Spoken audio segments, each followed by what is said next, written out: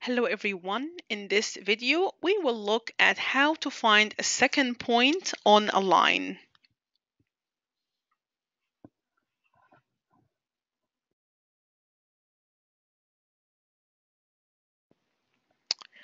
Before we begin, we want to remind ourselves of the formula that we use for the slope. The slope equals to y2 minus y1 divided by x2 minus x1.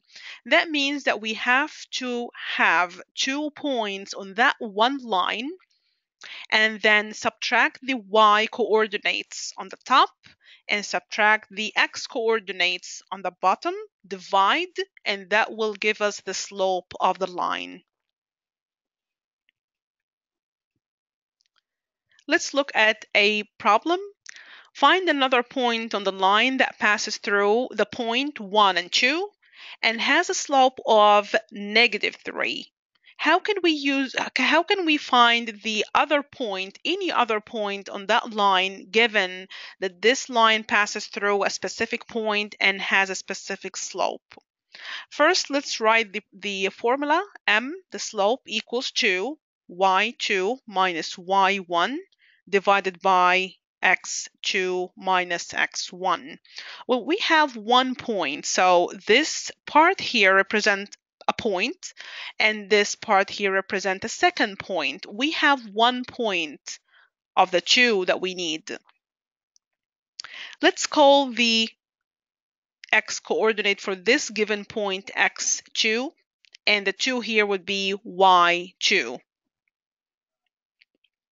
Let's use those numbers in the formula. y2 then is a 2 minus, and then divided by 1 minus equals to the other piece of information that we know is the slope.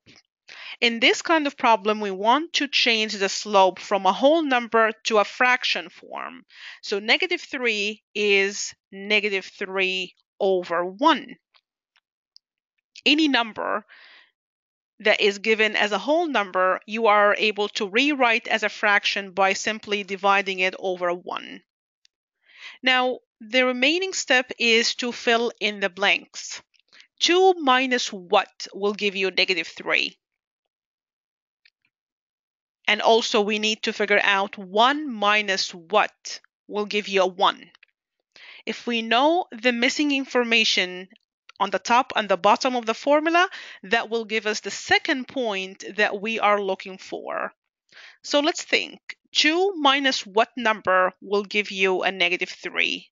2 minus 5 will give you a negative 3.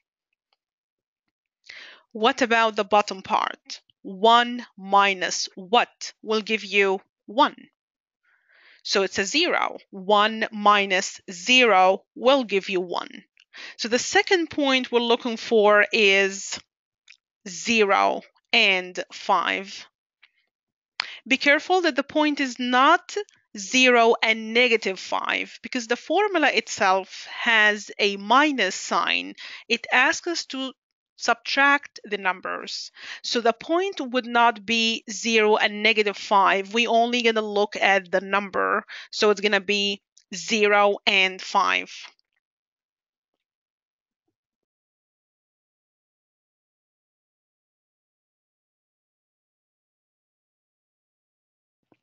Next question, find another point on the line that passes through the point negative 6 and 7 and has a slope of half.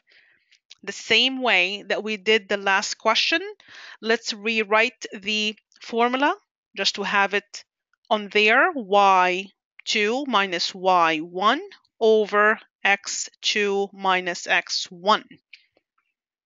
Let's fill in the information that we know. So let's label the points. So we did we do not get mixed up. X2 and y2 so y2 in this case will be the 7 minus and we have the x2 is a negative 6 and minus. Equals to the slope is given as a fraction form. So we're going to use it as is 1 over 2 now fill in the blank. 7 minus what number will give you 1? And negative 6 minus what number should give you 2? 7 minus 6 will give us the 1 on the top. And negative 6 minus negative 8 should give us the 2. Now remember when we do a subtraction of a negative number is the same as adding. So negative 6 minus negative 8 is as if we're adding negative 6 plus 8 and that will give you the 2. So the second point that we're able to find is negative 8 and 6. In this question, we did write the x-coordinate with a negative sign because we did subtract negative 8.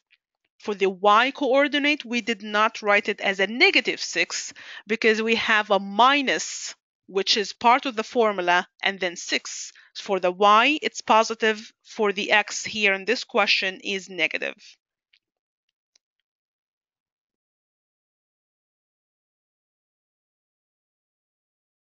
This is a practice question. Let's read the question together. Have some time to do the question yourself and then come back for the answers. Find another point on the line that passes through 10 and 1 and has a slope of negative 1 over 3.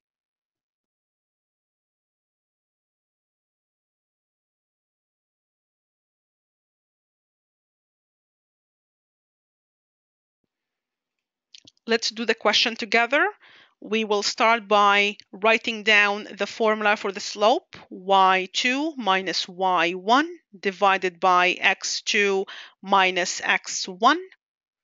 Let's use the formula given in the question that is equal to the y2 in this case is 1 minus on the bottom part it is 10 minus fill in with the slope, it's a negative 1 over 3. We need to ask ourselves 1 minus what number should give us a negative 1 and 10 minus what number should give us a 3. 1 minus 2 will give us a negative 1. On the bottom, 10 minus 7 will give us a positive 3. Since the bottom part is the x and the top part is the y, then our point will be 7 and 2.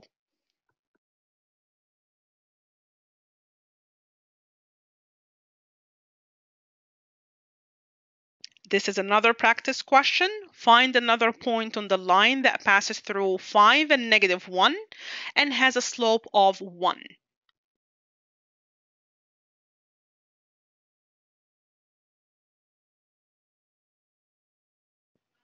Let's do the question together. Again, the formula m equals to y2 minus y1 over x2 minus x1. Label our coordinates from the point given in the question, that is x2 and y2. Let's use the information on the formula. y2 in this case is a negative 1 minus, and on the bottom we have a 5 minus equals to, the slope is given as a whole number 1, then change into a fraction form 1 over 1. Negative 1 minus what number should give you 1? And 5 minus what number should give you a 1? Negative 1 minus negative 2 should give us the 1 on the bottom, 5 minus 4 will give us 1. Again, on the top part, we have too many minus signs. Think about it as the subtraction of a negative number is the same as adding. So negative 1 minus negative 2 is really like doing negative 1 plus 2, which is at the end will give you the 1. In this case, the other point that the line passes through will be 4 and negative 2.